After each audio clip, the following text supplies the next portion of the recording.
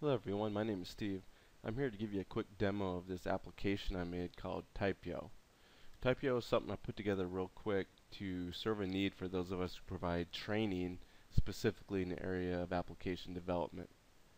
Why, why would I make that? Well, um, I personally believe that uh, when you're providing instruction in the area of application development, as you're discussing code to the students and demoing it, if they can actually see the code being written in front of them, it helps sink in a little better versus just a copy and paste routine or a canned presentation of code being uh, written and, and, compiled before and after. Just the live, you know, typing and execution of code I think is kind of powerful. So TypYo helps the instructor do that. Also, for those of us people that don't type well, uh, or especially li live in front of an audience, TypYo does the work for you. You don't have to worry about all the mistakes and such, and uh, you know it just it just helps the instructor out. Okay, I'm going to give a quick demo of here of how to use TypYo. One of the first things you'll notice is when you launch TypYo, you'll get a UAC warning message and I made TypYo require elevated privileges because some process processes will not allow themselves to be accessed unless you have elevated privileges. For instance, Visual Studio will not allow TypYo to send text to it uh, unless you have elevated privileges. Other applications like Notepad and Word uh, do not require elevated privileges. Alright, the first thing you're going to want to do with TypYo is paste some text into a tab, this is the basic thing that TypYo does, is you put text in a tab and you send it to an application. So you can have one or more tabs. Also note that you can change TypYo's uh, window size to fit whatever dimensions you want. I'm going to double click on the tab and change the name of the tab to Hello World and we'll go ahead and send it to uh, Visual Studio Express Edition for 2012. Recommended way to send text is to use your function keys, though I could just click this type button here, but I want to make sure that my application's ready and to make best use of TypYo, you want to keep one window open at a time. TypYo will send text to the most recently opened non-minimized window. So if you have multiple windows that aren't minimized, it's going to send the text to the most recently opened one. So obviously, to keep life simple for you, just have one window open at a time when you're using TypYo if at all possible. So I have Visual Studio open. I'm going to go ahead and hit F3 and let the fun begin. As you can see, everything is getting typed in as if it was a human, and the corresponding uh, IntelliSense and uh, code completion will kick in if you have it enabled.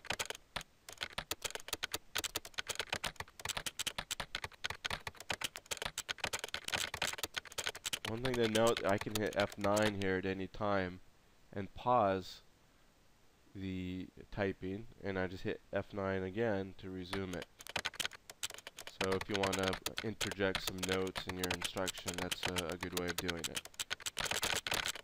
I can also use the F7 key, which will stop the typing altogether and basically start over. So F7 works well if you, you know, uh, get in a jam, like a, a window pops open that comes open unexpectedly because once TypYo starts typing, if another window becomes active in front of it, it will attempt to send the text to that application. So because it is now the top window. So F7 will stop all typing and let you correct the situation. So to utilize the different settings in TypYo, um, we have some menus here. Note the audio enabled. If you don't want to hear the clicking sounds, go ahead and unselect this. Um, you know, I guess if, if you want to give the illusion that you're typing, the audio, you know, can help. Typing configuration will launch the settings window, and I'll briefly discuss what each one of these is. keystroke delay is the average time between a key press. So this is the ultimate gauge of how fast you know it appears that TypYo is typing. I'll go ahead and set this down to its lowest setting, which is 20 milliseconds. Word delay is the amount of time in between words being typed on average. So set that to 25 milliseconds. Fast streak ratio is the likelihood that you'll hit a burst of speed when typing um, a word that does not contain any white space. So this is 1 out of 25 keystrokes I might hit a fast streak. And then intermittent delay ratio, uh, this kind of simulates the time where you're typing and you can't really, you know, you're, you're thinking, you're in deep thought and you pause during typing. Um, so this will be a longer type pause. And then the single keystroke mistake ratio is the likelihood that you'll make a single key mistake. Very simple way of kind of simulating the error of the typist. However, it's not very elaborate. It's just a single keystroke. It'll make a mistake. It'll backspace out of it and then enter the correct keystroke. So very simple. So now I have this set pretty much to type as fast as it can. So let's go ahead and see what it does. Let's close that window and automatically saves. I'm going to go back to Visual Studio and we'll we'll hit this again. I'd like to also demonstrate the fact that you can minimize TypYo. It does not need to be open, which I'd probably also recommend because you know you're not going to be showing TypYo to your students. So I'm going to go ahead and begin typing by hitting F3.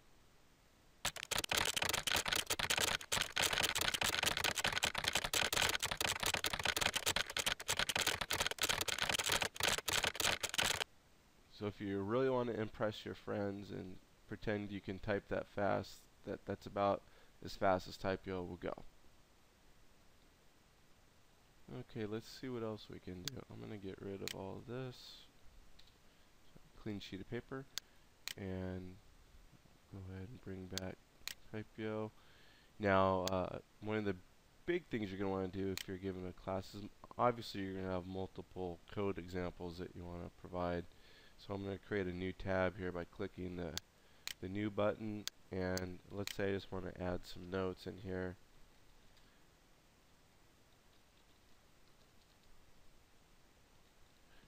And I'm going to add another new tab and maybe, I don't know, we could, um, I'll just do another note for tab 2, actually 3. So now I have three tabs. I could change the names of these if I wanted to. I'm not going to at this time. And this is the real power during an instructional lesson that, that you'll be able to do is I'm going to go ahead and be able to type and just by hitting the so I'm going to start off with hitting the F3 button as I've already displayed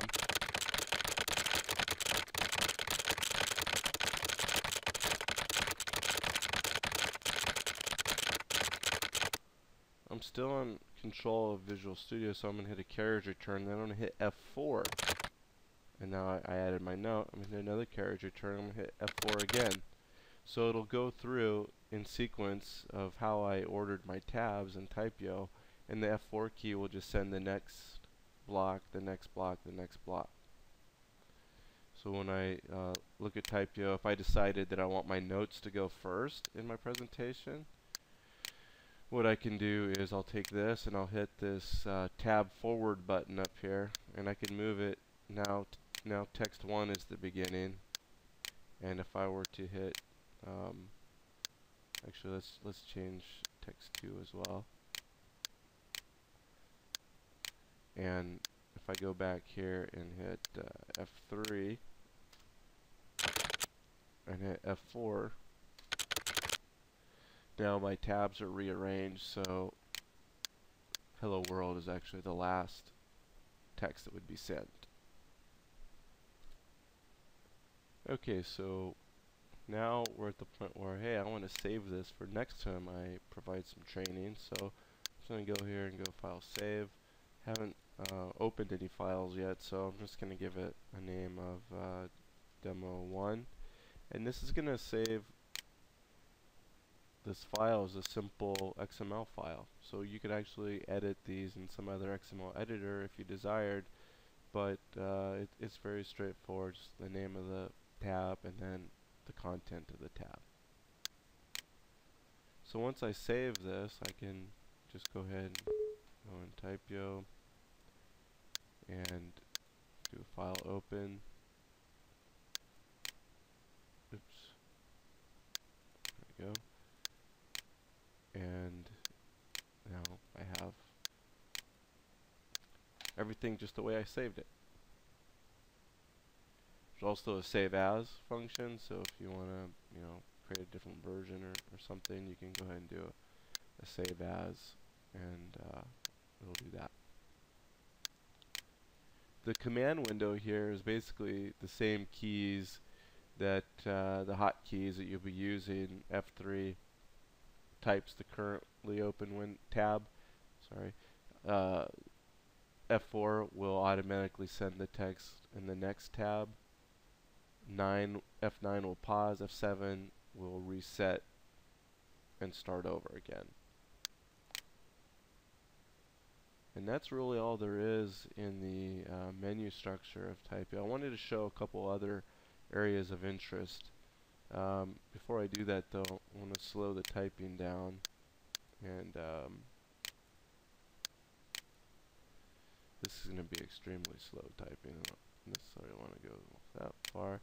Um, note once I have a tab selected, you can use your left and right arrows to do fine grain changes this that'll work. Okay, and what I want to show is that uh, there is a capability in TypYo to ignore certain processes if you don't ever want them to be typed to. And by default, I build the major browsers Chrome, Firefox, and IE to uh, in the settings to automatically ignore those. Um, I'll demonstrate how this works. I'm going to go ahead and begin typing and I'm, then I'm going to launch Chrome which is in my ignore list. So I hit F3, start typing and then I'm going to try and launch Chrome and if you notice the typing is automatically paused because Chrome, the Chrome process is in my ignore list. To re restart I just hit F9 again, I moved my mouse pointer there so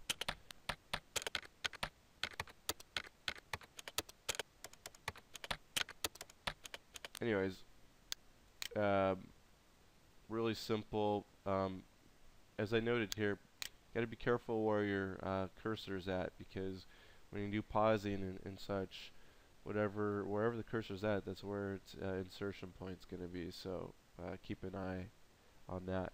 I also would like to show you how you can change the processes that you would like to ignore. So I'm going to go ahead and open an Explorer window, which is already uh, in the path of program files, Uncanny IT, TypYo, and within that folder you'll have a um, TypYo config file here. So what that file does is it will uh, allow you to change the apps to ignore because within the config file there's this section called um, apps to ignore. And then you're going to just want to put the process names just like you'd see them in Task Manager. And then what happens is if those programs, number one, if they're in the ignore list and they're the open window, the most recently opened window, they'll never get typed to. And number two, if TypYo recognizes that one of those windows has the focus, it will stop typing automatically go into pause mode. So very useful if uh, you're having problems with certain processes on your machine that's interfering with TypYo, uh, or that for some reason you need something open while you're providing your instruction, just put the process name in there.